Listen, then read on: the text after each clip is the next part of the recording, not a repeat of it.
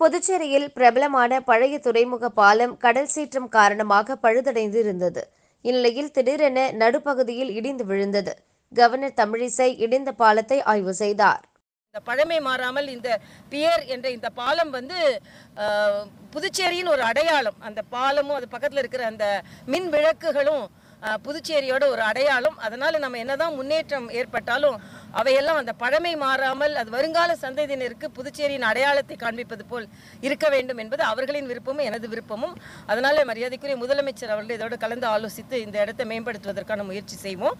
ஏற்கனவே மத்திய அரசு சாகர்மாலா திட்டத்தின் மூலமாக அறுபது கோடி ரூபாய் இந்த இடத்தை மேம்படுத்துவதற்காக முடிவு செய்திருக்கிறார்கள். அதற்கும் நம்ம மத்திய அரசு முய- ம- குறிப்பாக கட்கரி மரியாதைக்குரிய கட்கரிஜி அவர்களுக்கு நன்றி நாம் தெரிவித்துக் கொள்கிறோம்.